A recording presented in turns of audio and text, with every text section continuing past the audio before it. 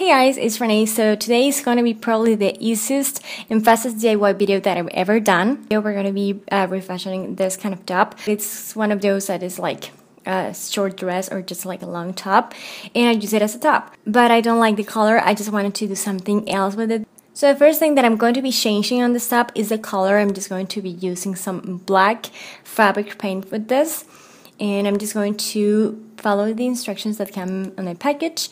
Once that's done, you have to let it dry and then we're going to just paint our dots. For that, I'm just going to be using some white fabric paint and my dotting tool, my big dotting tool. Now, if you don't own a dotting tool, don't worry, you can use the back of a brush or even one of those um, barbecue sticks don't forget to add some piece of, you know, plastic bag or even a cardboard between the top and the bottom part. So when you're adding the paint, the paint doesn't transfer to the bottom part.